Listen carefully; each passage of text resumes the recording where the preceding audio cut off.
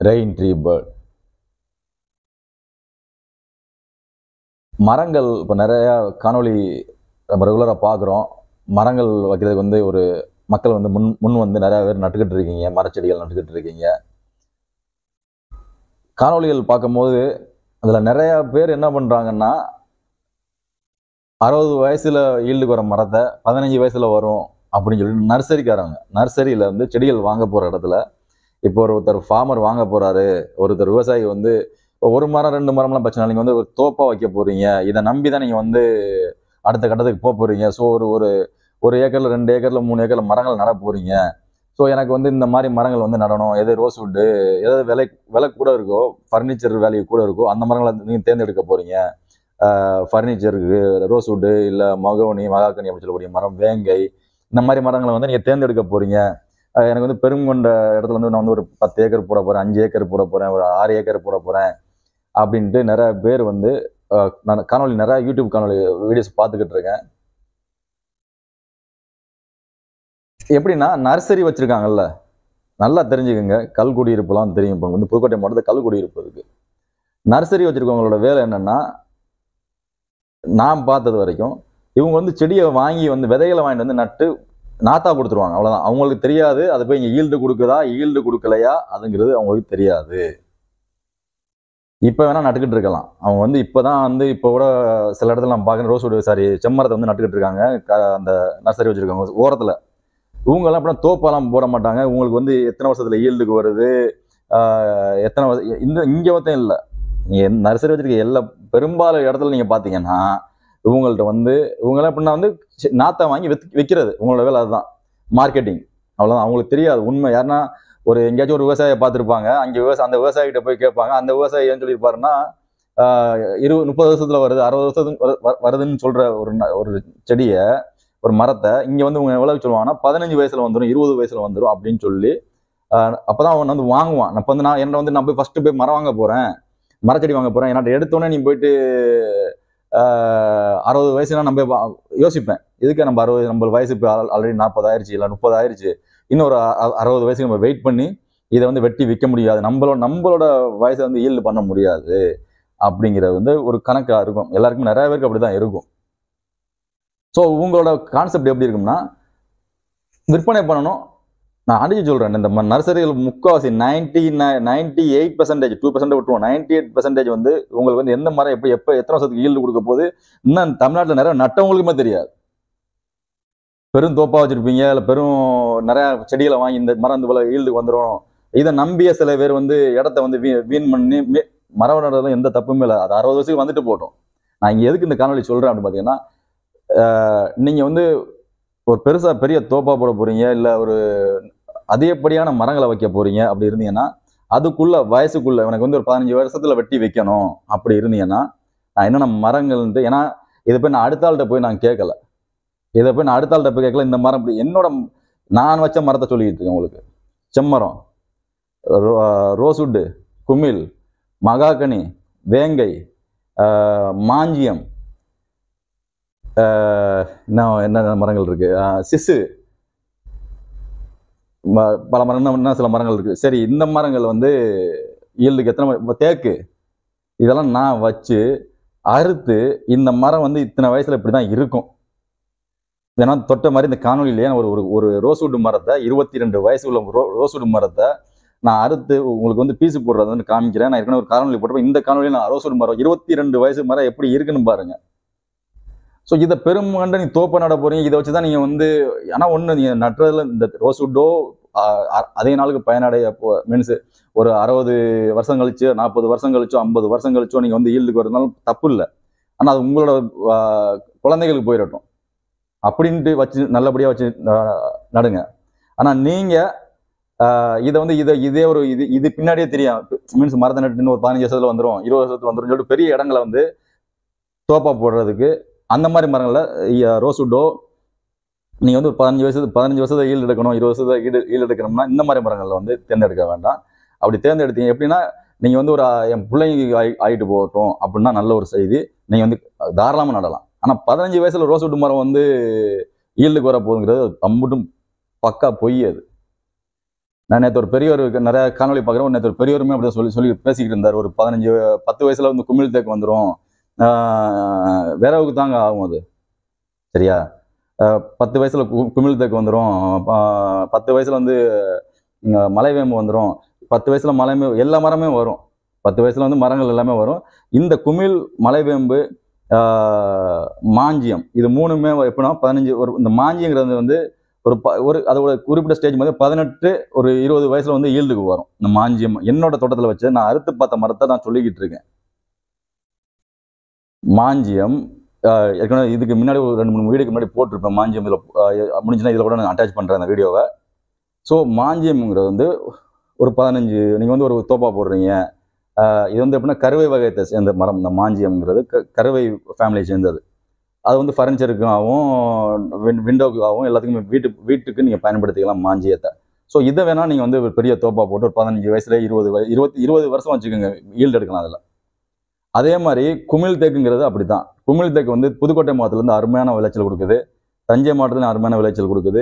இதை வந்து நீங்கள் தோப்பா போட்டுக்கலாம். இதெல்லாம் எப்படின்னா ஒரு பதன் ஒரு இருபது வயசு அப்படின்னா இந்த மாதிரி மரங்கள் உங்களுக்கு ஈல்டு கொடுக்கும். எது? மாஞ்சியம் குமிழ். இது வந்து என்னோட தோட்டத்தில் நான் வச்ச மரங்கள் சொல்லிக்கிட்டு இருக்கேன். மாஞ்சியம் மலைவேம்பு. மலைவேம்பை பொறுத்த வரைக்கும் என்கிட்ட வந்து ஒரு மரம் இருந்துச்சு. இந்த மரங்கள்லாம் சாஞ்சு போச்சு. அதுதான் அறுத்து பார்த்தல நான் கூட எனக்கு எனக்கு தெரியாது. நான் வந்து அடிச்சு சொல்லுவேங்க எந்த ஒரு ஃபார்ம் எந்த ஒரு ஃபார்மரையும் எங்கள் அண்ணன் கூட்டிட்டு வாங்க. நான் வந்து என்னோட மரத்தை அவர் அறுத்து பார்த்துருக்காரான்னு தெரியாது நான் அறுத்து பார்த்துருக்கேன். எவ்வளோ பெரிய மர விவசாயம் இருந்தாலும் சரிதான். வித்துருப்பாங்க மரத்தை வித்து பார்த்துருக்க மாட்டேன் சிலர் எப்படி இந்த மரம் எப்படி இருக்கு உள்ள உள்ள ப்ராடக்ட் எப்படி இருக்குன்னு யாருக்குமே தெரியாது. வித்து வாங்கிட்டு போயிருப்பாங்க. பட் அவங்களுக்கு தெரியாது நான் இருந்து அறுத்து காலையில் என் மரத்தை எடுத்துட்டு போய் நான் அறுத்து பார்த்து காலையில் ஆறு மணிக்கு போனவன் நைட்டு பதினொரு மணிக்கு தான் வந்தேன். என்னோட சாஞ்ச மரங்களை அறுத்து எப்படி இருக்கு ஒவ்வொரு பீஸ் போட்டால் அப்படி இருக்கும் ஒரு வீட்டுக்கு நான் வந்து என்னோட நண்பரோட வீட்டுக்கு நான் வந்து அதை அப்படியே கொடுத்து விட்டேன் அதை அஸ் அ கிஃப்ட்டு அந்த மரங்களை அறுத்த மரங்களை. காற்றுல சாஞ்ச மரங்கள் இது எல்லாமே அதில் பார்த்தீங்கன்னா தேக்கு தேக்குக்கெல்லாம் மினிமம் வந்து ஒரு ஈல்டு எடுக்கணும்னா மினிமம் நேற்று ஒருத்தர் தேக்கு சொல்கிறா இருபது வயசு. இருபது வயசுல ஒன்றுமே இருக்காதுங்க. அது பேப்பருக்கு யூஸ் பண்ணிக்கலாம். இருபது வய இருபது வயசு தேக்கெல்லாம் நீங்கள் வந்து ஒரு ரீப்பரை போட்டு வச்சு சும்மா சிம்பிளான வேலைக்கு தான் பண்ணி- பண்ணிக்கலாமே தவிர ஒரு அறுபது வயசை தாண்டணும். தேக்க மரங்கிறது அறுபது வயசை தாண்டினா தான் உங்களுக்கு வந்து அது வந்து ஈ- ஒரு ரீயூஸுக்கு ஆகும். நீங்கள் ஒரு கதவு பண்ண கூட அது ரீயூஸுக்கு நீங்கள் இருபது வயசு மரத்தை போட்டிங்கன்னா கட்டாயமாக அது வந்து வேலைக்கு ஆக போகிற மரம் இல்லை அது தேக்கு. அது மாதிரி சொல்கிறேன் இந்த ம- மாஞ்சியம் மலைவேம்பு மலைவேம்பை பொறுத்தவரைக்கும் என்னோட வந்து ஒரு இருபத்தி ரெண்டு வயசு ம மரம். கட்டி பிடிக்க முடியாது. இவ்வளோ பெருசாக இருக்குது அதுவுமே பேப்பர் மில்க்கு தான் எடுத்துகிட்டு போனாங்க. இந்த காற்றுல விழுந்த மரத்தை வந்து பேப்பர் மில்க்கு தான் எடுத்துகிட்டு போனாங்க. இந்த இந்த மலைவேம்பு அப்படின்னு சொல்லக்கூடிய மரத்தை. மரம்னா எவ்வளோ அடின்னா ஒரு மரம் வந்து கிட்டத்தட்ட ஒரு நீளம். ஏன்னா என்னோட இந்த வீடியோ நான் உங்களுக்கு அட்டாச் பண்ணுறேன் ஒரு பத்து பத்து பன்னெண்டு வருஷத்துல நான் எடுத்தேன் அந்த வீடியோ அந்த அந்த மரத்தை அதோட ஹைட்டை பாருங்கள் அப்படின்னு ஒரே நேராக போகும் நேராக போய் சாஞ்சிருச்சு காற்றுல சாஞ்சிருச்சு. அதை வந்து இந்த பேப்பர் தான். நீங்கள் வந்து வேணும்னா இந்த மரங்களை மலைவேம்பு மாஞ்சியம் குமிழ் இதை வேணால் ஒரு ஒரு பத் ரெண்டு நீங்கள் உங்களுக்கு அர்ஜென்ட்டாக நீங்கள் வந்து ஒரு பதினஞ்சு வருஷம் அர்ஜென்ட்டாக ஒரு பதினஞ்சு வருஷம் ஆகும் அது. நீங்கள் வந்து ஒரு ஃபர்னிச்சருக்கோ இல்லை ஒரு இதுக்கு பண்ணணும்னா இந்த சாரி ஃபர்னிச்சருக்கு இல்லை மலை இதை மாஞ்சியத்தை வேணால் நீங்கள் யூஸ் பண்ணிக்கலாம்.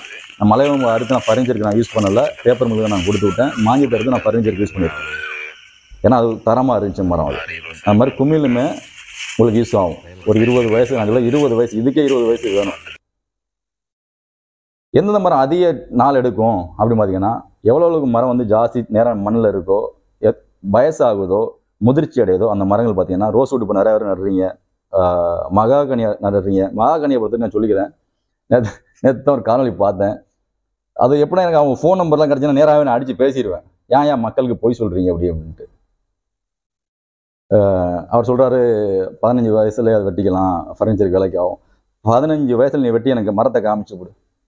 வெட்டி அறுத்து காமிக்கலாம். என்னோட மரத்தை நான் அறுத்து எப்படின்னா அறுத்து ஒரு இவ்வளோ திக்னஸ் பீஸியாக வளையுது.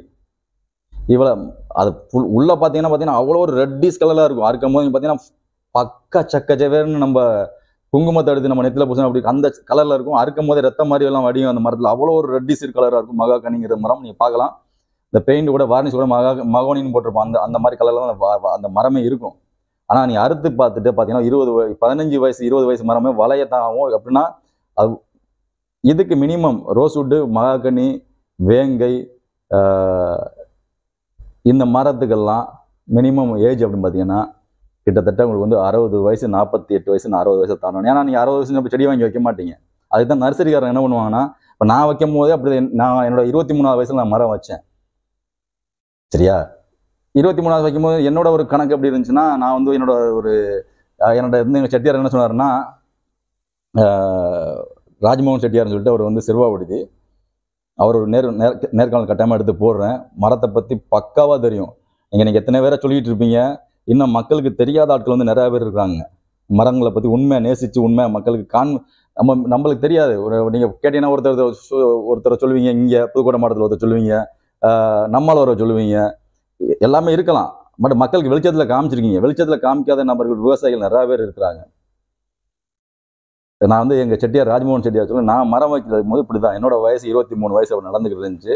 நான் வெளிநாட்டிலேருந்து ஒரு ஃபஸ்ட்டு ட்ரிப்பு போகிறேன் சார் இருபத்தி நாலாவது வயசு ஒரு- ஃபஸ்ட் ட்ரிப் போ போகிறேன் ஊருக்கு லீவுக்கு போகிறேன் அப்போ தான் இந்த மரங்களை நான் வாங்கி அவர் சொன்னது என்னட்ட வந்து தம்பி மதன் இந்தந்த மரங்கள் இத்தனை வருஷத்துக்கு வரும்.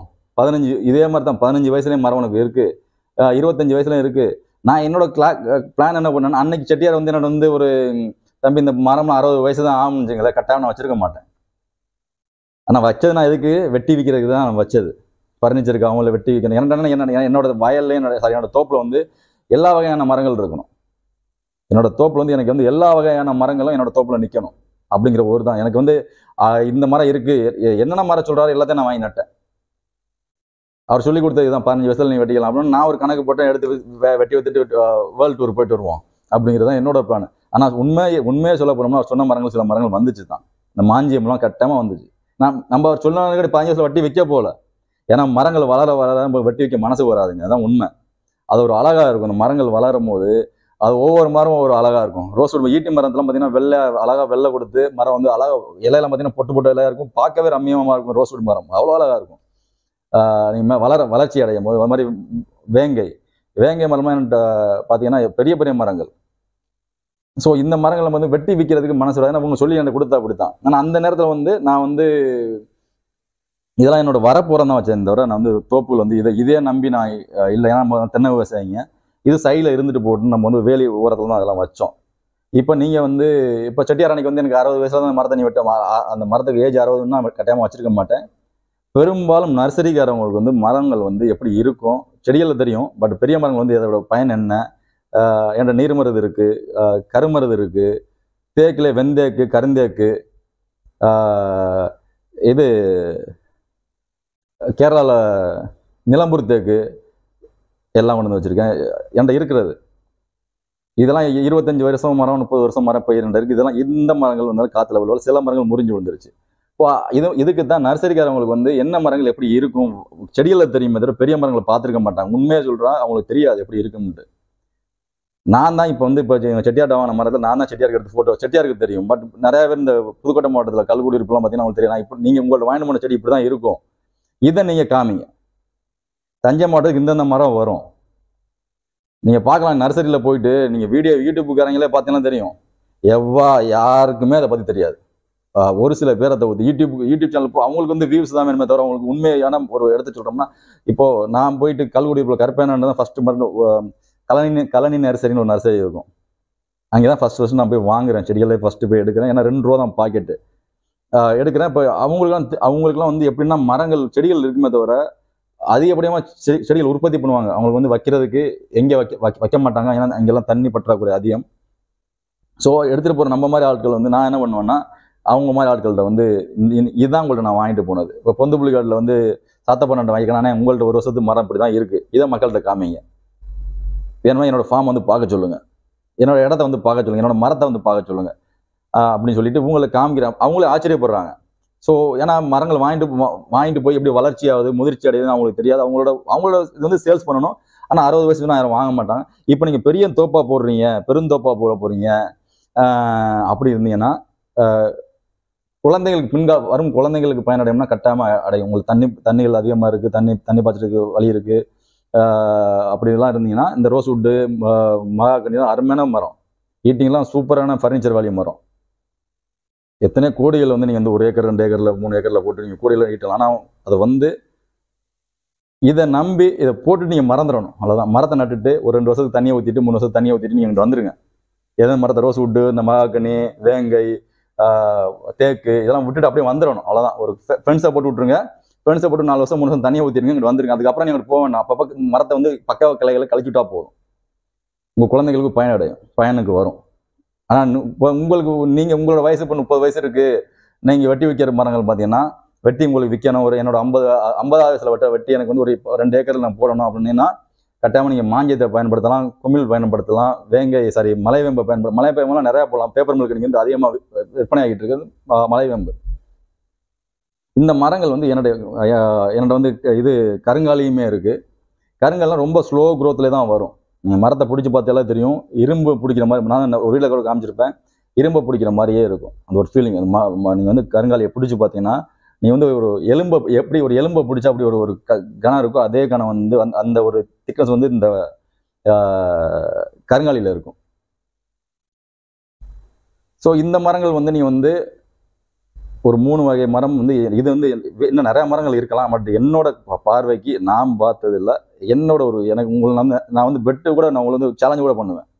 யாராச்சும் ஒருத்தன் எந்த இருபது வயசுல நீ ரவுசோட வெட்டி விற்கலாம் ஃபர்னிச்சருக்கு வேலைக்கு ஆகும். வெட்டி எல்லா மரத்தையும் வைக்கலாமியா கருவ மரத்தை கூட வெட்டி வித்துக்கலாம் பேப்பர் மில்க் எல்லா மரமே போகுமே? பேப்பர் மில்க் இந்த மரம் தான் வேணும் இல்லை. எந்த எல்லா மரம் இருக்கிற மரம் தான் அரை அரைச்சி கூலாக்கி பேப்பர் போட போகிறதானே தானே?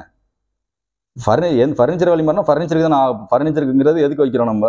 ஃபர்னிச்சர் வழியாக இருபது வயசுல எப்படி எடுத்து வெட்டி வெட்டி வெட்டி விற்போம்? நம்ம சேலஞ்ச் பண்ணுறேன் எவ்வளோ பெரிய விவசாயி தமிழ்நாட்டில் இருந்தாலுமே இருபது வயசில் யாராச்சும் ரோஸ் வுட்டு வெட்டி விற்கலாம் வேங்கையை வெட்டி விற்கலாம் மகாகனியை வெட்டி விற்க விற்கலாம் ஃபர்னிச்சருக்கு வெட்டி விற்கலாம் எல்லாம் விற்று போயிடலாம்.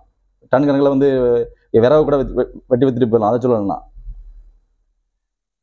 சிசு அப்படின்னு சொல்லக்கூடிய மரம் வந்து அதுவுமே ஒரு முப்பது வயசை தாண்டணும். அதுவுமே ரோஸ் வுட்டு வகைற மாதிரியே தான் இருக்கும். அதே பற்றி நான் பேசியிருப்பேன். அதெல்லாம் வந்து என்னோட தோப்புல இருந்து காற்றுல விழுந்த மரங்கள். இந்த மரங்களாம் சிசு அப்படிங்கிற மரம்லாம் என்னோட தோப்புல இருந்து காற்றுல விழுந்து அதை நான் அறுத்து பார்த்து தான் உங்களுக்கு சொல்லிட்டு இருக்கேன். ஸோ இந்த மரங்களை நீங்கள் நடும்போது ஒருத்தர் ஃபர் ஒருத்தர் சொல்கிறாரு இந்த இத்தனை வயசில் வருது இத்தனை வயசுல அந்த மரத்தை வெட்டலாம். முப்பத்தஞ்சு வயசு அதுக்கு கம் கம்மி தான் சொல்கிறேன் ரோஸ் வுட்டுக்கலாம் மினிமம் வந்து ஒரு நாற்பது ஐம்பது வயசு தாண்டணும். ரோஸ் வுட்டுக்கோ மகாகனிக்கோ கோ- வேற தேக்கு தேக்குக்கெல்லாம் அறுபது வயசு விட்டுருங்க. அறுபது அறுபத்தஞ்சு வயசு போயிடட்டும் அது.